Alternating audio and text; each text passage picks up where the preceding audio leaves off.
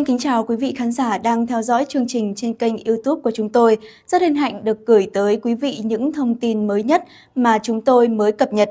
Ngay sau đây là nội dung chi tiết, xin kính mời quý vị và các bạn cùng theo dõi. Ngày 21 tháng 10, hạm đội 7 của Hải quân Mỹ thông báo tàu khu trục hạm tên lửa dẫn đường lớp Aleppo USS Higgins DDG-76 và khinh hạm lớp Halifax HMCS Vancouver FFH 331 của Hải quân Hoàng gia Canada đã thực hiện chuyến đi thường lệ qua eo biển Đài Loan vào ngày 20 tháng 10.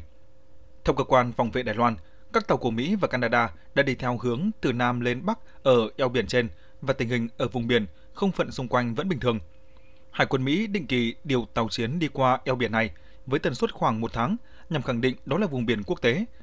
Trung Quốc khẳng định tuyến đường thủy chiến lược đó thuộc về họ. Hạm đội 7 của Hải quân Mỹ cho biết tàu khu trục USS Higgins và khinh hạm HMCS Vancouver của Canada cùng thực hiện chuyến đi thường kỳ trong ngày 20 tháng 10 qua các vùng biển nơi quyền tự do hàng hải và hàng không được áp dụng theo luật pháp quốc tế.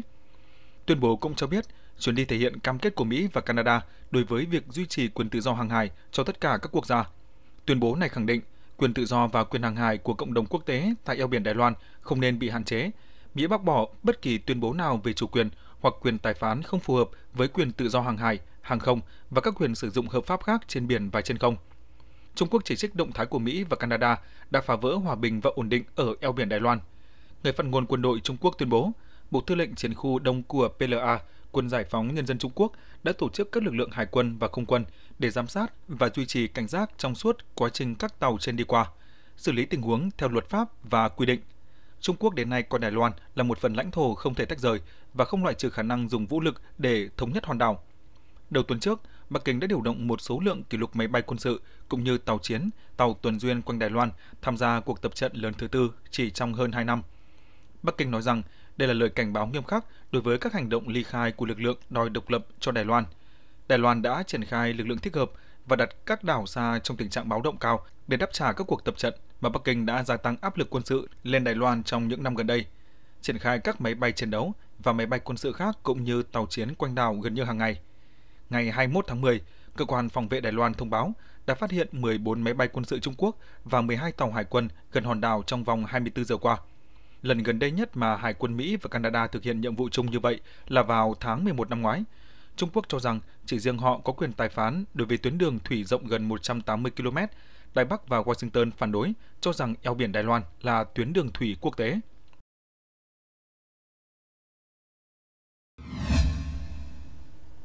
Theo đài CCTV, vừa qua trong chuyến thăm lữ đoàn thuộc lực lượng tên lửa của quân đội Trung Quốc, Chủ tịch Trung Quốc Tập Cận Bình đã đưa ra yêu cầu và nhấn mạnh quân đội Trung Quốc cần tăng cường toàn diện công tác huấn luyện và chuẩn bị cho xung đột chiến tranh, đảm bảo quân đội có khả năng chiến đấu vững chắc. Đồng thời, binh sĩ cần phải tăng cường khả năng gian đe chiến lược và khả năng chiến đấu. Trước đó, Bắc Kinh triển khai máy bay chiến đấu, máy bay không người lái, tàu chiến và tàu tuần duyên bảo vệ đảo Đài Loan Trung Quốc. Những hoạt động này nằm trong cuộc tập trận quy mô lớn thứ tư của Trung Quốc quanh đảo này chỉ trong 2 năm trở lại đây. Cuộc tập trận này diễn ra sau phát biểu gần đây của lãnh đạo Đài Loan Trung Quốc, ông Lại Thanh Đức tuyên bố chống lại mọi cuộc sáp nhập hoặc xâm nhập và cho rằng Bắc Kinh không có quyền đại diện cho 23 triệu người dân của hòn đảo này. Giám đốc điều hành chương trình Ấn Độ Dương Thái Bình Dương của quỹ Masan Đức, ông Bonnier Glasser nói, các cuộc tập trận chứng minh với người dân Trung Quốc rằng chính quyền nước này quyết tâm bảo vệ lãnh thổ. Chúng cũng nhằm mục đích cảnh báo Đài Bắc Trung Quốc và Washington không vượt qua ranh giới đỏ của Bắc Kinh. Cơ quan phòng vệ Đài Loan Trung Quốc đã lên án mạnh mẽ hành động phi lý và khiêu khích của Bắc Kinh và cho biết đã điều động lực lượng thích hợp để đáp trả nhằm bảo vệ tự do, dân chủ và bảo vệ chủ quyền của hòn đảo này.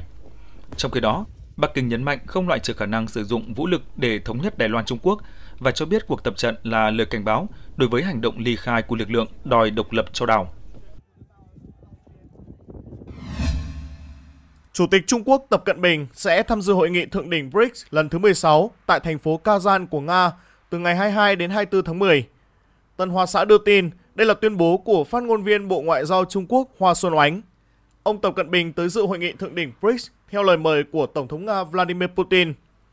Còn theo hãng thông tấn TASS, bình luận về chuyến đi của ông Tập Cận Bình, phát ngôn viên Bộ Ngoại giao Trung Quốc Mao Ninh cho hay,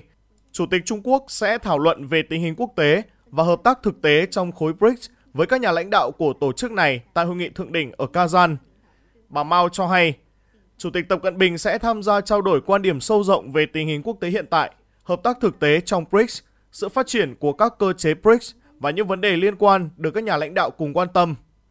Cũng theo bà Mao, Trung Quốc sẵn sàng hợp tác với tất cả các bên để thúc đẩy sự ổn định và phát triển lâu dài của hợp tác BRICS lớn hơn, BRICS cộng, nhằm mở ra kỷ nguyên mới về thống nhất và tự trao quyền cho Nam bán cầu, cùng nhau đóng góp cho hòa bình thế giới và phát triển chung. Trong diễn biến liên quan, hai tàu tuần duyên của Trung Quốc Meishan và Siushan đã trở về nước hôm 17 tháng 10 sau khi kết thúc nhiệm vụ chung với các tàu của Nga. Theo Hải cảnh Trung Quốc, hai con tàu khởi hành từ thành phố Chu Sơn thuộc tỉnh Chiết Giang hôm 13 tháng 9 và đã thực hiện hành trình dài hơn 17.000 hải lý trong 35 ngày, đi qua biển Bering, biển Trúc Chi và Bắc Băng Dương. Meishan và Siushan là tàu tuần duyên Thai 818 nặng 3.800 tấn, có thiết kế dựa trên khinh hạm Tai 054 của Hải quân Trung Quốc và được trang bị pháo hạm 76mm. Theo một bức ảnh được Hải cảnh Trung Quốc công bố, hạm đội chung của lực lượng tuần duyên Nga, Trung Quốc đã đi qua một khu vực không được tiết lộ cụ thể, nhưng có nhiều mảng băng đang trôi nổi. Vừa qua, khi được phóng viên hỏi về khả năng tới Brazil dự hội nghị thượng đỉnh G20, Tổng thống Nga Vladimir Putin cho biết ông sẽ không tham dự. Ông Putin cho hay, tôi có mối quan hệ rất thân thiết với Tổng thống Brazil Luiz inácio Lula da Silva, nhưng tại sao tôi phải tới đó để gây gián đoạn hoạt động thông thường của diễn đàn này? Tổng thống Nga nhấn mạnh lệnh bắt của Tòa hình sự quốc tế ICC không phải nguyên nhân khiến ông đưa ra quyết định. Ông cho rằng rất dễ để đưa ra biện pháp nhằm tránh thực thi lệnh bắt. Ông cho hay Nga và Brazil có một mối quan hệ nồng ấm và tốt đẹp. Đối với lệnh bắt của ICC, chỉ cần một thỏa thuận liên chính phủ là giải quyết xong và không ai bị đặt vào thế khó, thẩm quyền của ICC sẽ bị hạn chế. Tuy nhiên, Tổng thống Putin cho rằng nếu ông đến dự, mọi mối quan tâm sẽ tập trung vào ông và làm suy giảm chú ý đến các công việc của G20. Năm 2023, Tòa hình sự quốc tế ICC tại The Hague, Hà Lan đã ban hành lệnh bắt giữ Tổng thống Nga Putin và Ủy viên về quyền trẻ em Maria Lvova-Pelova với cáo buộc có thể liên quan tội ác chiến tranh. Nga, quốc gia không ký kết ICC, phủ nhận các cáo buộc này. Ukraine đã thúc giục Brazil bắt giữ nhà lãnh đạo Nga nếu ông đến nước này dự hội nghị thượng đỉnh G20 vào tháng tới. Theo hai quan chức chính phủ Brazil, nước này đã gửi cho Tổng thống Putin lời mời tham dự cuộc họp G20 ngày 18 đến ngày 19 tháng 11 tại Rio de Janeiro. Tổng thống Brazil Luiz Inacio Lula da Silva năm ngoái khẳng định ông Putin sẽ không bị bắt theo lệnh của ICC nếu tham dự hội nghị thượng đỉnh tại Rio de Janeiro. Ông nhấn mạnh, điều tôi có thể nói với mọi người là khi tôi làm Tổng thống Brazil, Tổng thống Nga sẽ không thể nào bị bắt nếu tới đất nước chúng tôi. Bất chấp lệnh bắt của ICC, Tổng thống Putin hồi tháng 9 vẫn tới thăm Mông Cổ. Ukraine lúc bấy giờ chỉ trích việc Mông Cổ, quốc gia thành viên ICC, không bắt ông là đòn giáng vào công lý quốc tế. Mexico, quốc gia thành viên ICC, cũng đã gửi lời mời ông Putin tới dự lễ nhậm chức của Tổng thống đắc cử Claudia Sheinbaum vào ngày 1 tháng 10 và tuyên bố sẽ không thực hiện lệnh bắt. Năm ngoái, Nam Phi, nước thành viên ICC rơi vào tình thế tiến thoái lượng nan với kịch bản ông Putin có thể tới dự hội nghị BRICS sau đó Moscow cử Ngoại trưởng Sergei Lavrov tới dự hội nghị. Kiev đã ký một thỏa thuận với Đức về các hành động ngay lập tức để tăng cường hệ thống phòng không của Ukraine. Bỉ, Na Uy, Hà Lan và Đan Mạch cũng sẽ tham gia thỏa thuận này. Bộ trưởng Bộ Quốc phòng Ukraine Rustem Umerov trên Facebook cho biết, tại cuộc họp của các bộ trưởng quốc phòng G7, một thỏa thuận quan trọng đã được ký kết với Đức về các hành động ngay lập tức để tăng cường hệ thống phòng không của Ukraine. Thỏa thuận này quy định những điều khoản, theo đó các quốc gia ký kết sẽ đóng góp vào các dự án chung hoặc tài trợ cho các dự án riêng của họ nhằm tăng cường năng lực phòng không của Ukraine. Ngoài Ukraine, 5 quốc gia ký kết khác sẽ tham gia dự án này là Đức, Bỉ, Na Uy, Hà Lan và Đan Mạch. Ông Umerov cảm ơn Đức vì sáng kiến này và các quốc gia tham gia vì đã đóng góp to lớn cho an ninh của Ukraine. Trước đó, các bộ trưởng quốc phòng G7 trong một tuyên bố chung sau cuộc họp tại Naples gần đây cho biết họ ủng hộ con đường không thể đảo ngược của Ukraine hướng tới sự hội nhập hoàn toàn vào Euro-Atlantic, bao gồm cả tư cách thành viên NATO. Vài ngày trước đó, chính phủ Đức đã công bố gói viện trợ quân sự mới dành cho Ukraine. Chính phủ Đức cho biết lần viện trợ quân sự này sẽ tăng cường nhiều thiết bị quân sự mang tính chiến lược dành cho Ukraine như xe tăng, xe bọc thép, xe dò mìn, hệ thống phòng không Patriot nhưng đáng chú ý nhất là việc Berlin bàn giao cho Kiev loạt tên lửa dẫn đường AIM-9L, 4.000 thiết bị bay không người lái UAV tấn công và hơn 300 UAV trinh sát. Tất cả các thiết bị này đều nhằm mục đích tăng cường khả năng phòng không của Ukraine, vốn chịu tổn thất nặng nề từ các cuộc không kích từ phía Nga.